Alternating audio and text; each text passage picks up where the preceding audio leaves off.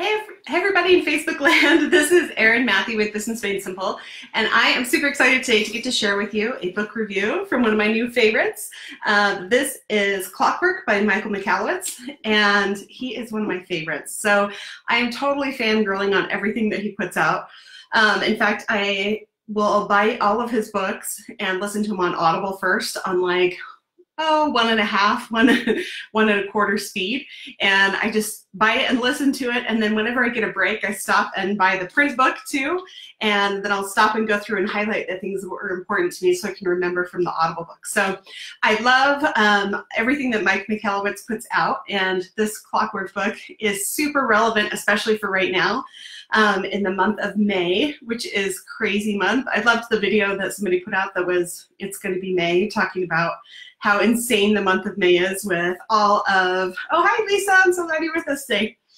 But yeah, the month of May just seems to get crazy, right? With all of the summer plants coming on and all of the school kids doing all their 100 million things. And really, we all just want to be outside enjoying the weather. So um, anyway, it's a great time to start thinking about how to clockwork your business. So I highly, highly recommend this book, um, Clockwork by Mike Michalowicz. It's one of my favorites.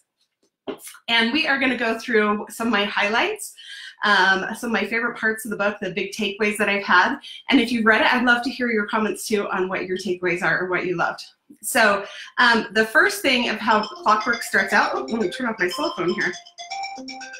So one of the first things that I love about how clockwork starts out is that it starts talking about like the myth of personal productivity and basically saying all these productivity hacks that are out there are crap. And I'm like, whoa, wait a minute. I love productivity. I want to be more productive. But essentially, what he's talking about is how um, your organization needs to be run efficiently. So it's organizational efficiency over personal productivity. And the reason why he talks about that is because if you're focusing on personal productivity, you're still doing everything. You're just trying to cram more stuff into the time that's allotted. And so the whole basis of this book is, is how to set up organizational efficiency in a way so that you can plan and take a four, um, a four week vacation at the end of the book. So that's what his entire plan is, is to try to get your business to run without you, um, which of course resonates with me and all of the process things that I absolutely love. So I'm excited to jump in and talk more about it. Um, one of the other main things that he mentions in the book that I thought was super powerful is um, looking at what he calls 4D time. And so he talks about how in, in the business, each individual person and the business as a whole is doing work that belongs in four different categories. The first one is doing the work. The second one is deciding, so making decisions. The third one is delegating, and the fourth one is designing the business. And so he talks about how um, we need to track our time and, just, and figure out our own personal mix of that 4D, and also to figure out what the 4D looks like for the business. And so doing the work, I think, is pretty obvious, you know, when you're um, like Lisa, if you're putting together RFPs for people, um, or if you're like me, you know, you're, you're optimizing CRM for people and developing processes for people. That's the actual doing of the work. And then the deciding and delegating is where it kind of gets a little bit confusing. And so in there, he talks about the difference between deciding and delegating. And I love this because the difference really is if you have delegated something to someone, then they are responsible for the outcome of that. So you hand off the whole thing and they are responsible for the whole thing. If people, if you delegate something to someone and they keep coming back and asking questions, that's your deciding part. So if they keep coming back and saying, well, what should we do with this? And what should we do with this? And how should we handle this particular situation? That's all time that's spent in deciding and not delegating. So delegating is Okay, I'm preparing this to pass off to someone else. Okay, and then the last part is designing. So this is the time spent working on your business, which is something we hear so often. Um, but what I loved about this was that he talks about the ideal work percentages for the entire company. So he says that for the whole company, so if you're just a one person company, this should be your percentages where you're at. If you have multiple employees, um, then the average of all your time, if you were to add it up, should come to these you know, roughly these percentages. So he says, you know, the entire company should spend 80% of their time doing the work, 2% deciding, 8% um, delegating, and 10% designing. So that's where you're actually figuring out, okay, what new products do we need to make? Um, how do we create more systems? How do we optimize what's already happening? So those are the percentages. So 80, 20, um, 10, or 8 and 10. And I love this because um, I think so many times we get stuck in all the doing that we forget how to delegate effectively or we forget um, to spend time actually designing so that things will run smoothly and we don't have to be stuck in the doing phase forever. Of course, as the business grows, um, you'll want to move yourself out of the doing phase and move other people into that and your percentage of, of designing time will go up. Um, one of the other things that I love that he said in here is that this is a throttle, it's not a switch, right? So you don't just one day go, you know what, I'm not going to do any of the stuff anymore. I'm going to have all my employees do it all, and I'm going to spend all my time in designing. It just doesn't happen that fast. So it's building over time to make these switches. Um, so it's more of like a throttle where you're slowly leaning in to more design time and backing off from um, the actual doing in the company, which I love. Um, another thing that he talks about in here that is so powerful is he talks about um, the queen bee role. And um, Mike is, is kind of famous for his analogies of things. Um, I love the pumpkin plan. If you haven't read that one, that's another fantastic one where he equates growing a business into growing a giant award-winning pumpkin. but in this one, he talks a lot about this queen bee role. And so just briefly with that, with bees, um, you know, you have your queen bee who is in charge or who is the most important one in the hive, and her entire job is to lay eggs. And without her laying those eggs, the threat or the hive will die and they will not have, you know, more bees to be able to accomplish the things that they need to. So her role of laying eggs is the most important role. And so all of the other bees are in charge of supporting and protecting her role. And I love this because, you know, I think sometimes it's hard to identify what is the most important thing, you know, that our business does. Is it how we communicate with our customers? Is it coming up with new and innovative products all the time? Is it, you know, what is that most important role? And it's not a person, so it's not like a job title. It's maybe it's communication um, with clients, and so that could happen for everyone. But it's trying to protect and serve that one role. So he talks a lot about that. Um, next, his next step in, in designing a business to run itself in Clockwork is capturing systems. And I thought this was really cool because um, in here, a lot of people talk about creating systems. And it's true that sometimes you need to create something new. But oftentimes, the systems that we have are already there. They're just not written down, and you haven't actually formally thought them through to be able to pass them off to someone. But obviously, if you've been running a business, you know, for a while, you've had some form of collecting money, you know, so you have something of a collections process. Is it optimized? Probably not, but you have something that you can start collecting and writing down. Um, if you have been doing business for a you have some form of marketing.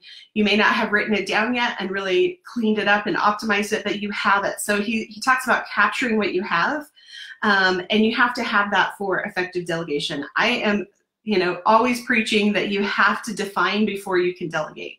So you have to define a process before you can effectively hand it off to somebody else, um, or else they're not going to return what you were looking for. Okay. Um, and the other thing that I loved about this is that he he mentions that you know in these capturing of systems, it doesn't have to be in a particular um, format. So you don't want to have the giant binder from the 90s that, you know, is super outdated and everybody has to flip through and you're always printing it, making notes or whatever. Um, it can be in any method that you want and preferably a combination, right? So um, like for us, we have a giant, essentially like a giant table of contents page. We should do another post on this sometime, but we have a giant table of contents page and um, each one of them topics that's listed on the table of contents is a link that takes you to maybe it's a video, maybe it's a spreadsheet, maybe it's a Word document or whatever that outlines that process. And so he is a big uh, proponent of that as well, which I love. Um, then he also talks about this delegation process. So of course, whenever you hire someone new and you're delegating new tasks to them, you don't just throw it at them and say, here you go, you know, and expect it to come out perfectly. And so he talks about kind of the throttle of delegation to people whenever you're delegating a new task. So he talks about first you hand off the task, then you hand off the decision making for that task.